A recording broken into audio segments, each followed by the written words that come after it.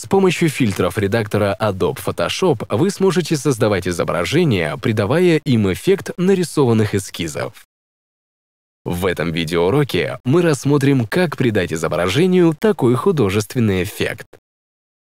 Для начала перейдите на вкладку «Filter» — «Фильтр» и выполните команду «Filter Gallery» — «Галерея фильтров».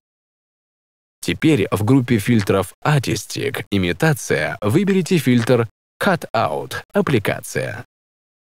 С помощью данного фильтра вы сможете преобразовать изображение, придав ему эффект аппликации, выполненной на ткани. Цвета и тени, используемые при обработке данным фильтром, зависят от параметра Number of Levels — количество уровней. В нашем случае мы зададим среднее значение данного параметра.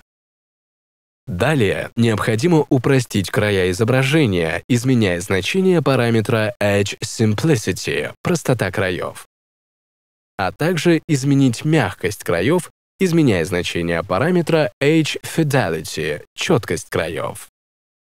Необходимо подбирать различные сочетания значений данных параметров для наиболее эффективного применения по отношению к каждой, поскольку значения, подходящие для одних изображений, могут оказаться совершенно непригодными для других. В нашем случае мы выберем достаточно низкое значение параметра Edge Simplicity, простота краев, и установим среднее значение параметра Edge Fidelity, четкость краев. В результате мы получим изображение, напоминающее рисунок художника. Теперь перейдем непосредственно к созданию эскиза. Для этого создадим еще один слой с фильтром, кликнув по пиктограмме New Effect Layer — новый слой эффектов. Появился новый слой, которому будет применен эффект, аналогичный предыдущему. Для смены эффекта сделайте активным нижний слой эффектов и выберите другой эффект из списка фильтров. В этом случае мы будем использовать фильтр Graphic Pen, тушь, расположенный в группе эффектов Sketch, эскиз. Данный фильтр применяется для имитации рисования чернильным пером.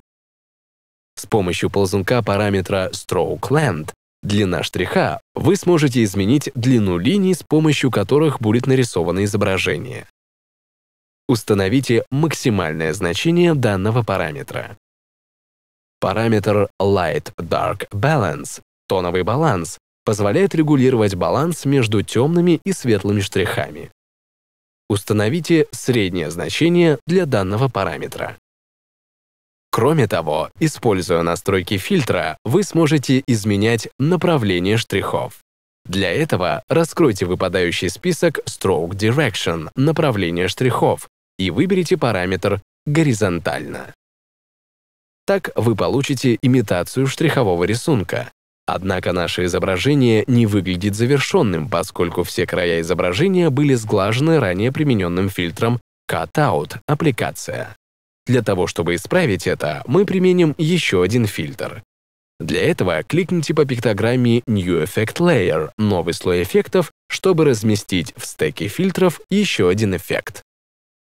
После чего кликните по фильтру, расположенному в нижней части стека, и выберите фильтр Poster Edges — очерченные края, расположенный в группе Artistic — имитация.